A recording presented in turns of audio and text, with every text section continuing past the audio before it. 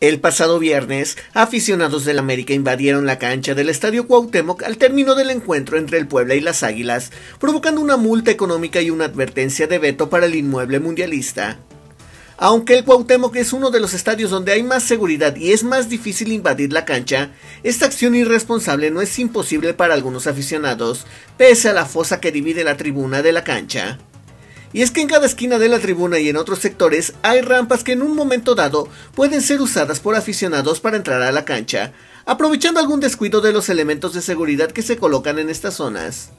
En México hay muchos estadios más inseguros que el Cuauhtémoc, y sin duda el que mayor riesgo de invasión de cancha tiene es el Alfonso Lastras de San Luis Potosí, donde ya se han visto escenas de violencia que saltan de la tribuna a la cancha.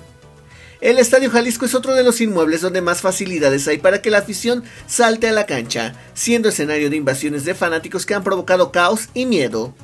No obstante, el mayor riesgo en México se tiene en estadios de la Liga de Expansión, siendo ejemplo el estadio de Celaya, donde recientemente aficionados ingresaron a la cancha para agredir a jugadores rivales. Para Imagen Poblana, Gustavo Mirón Reyes.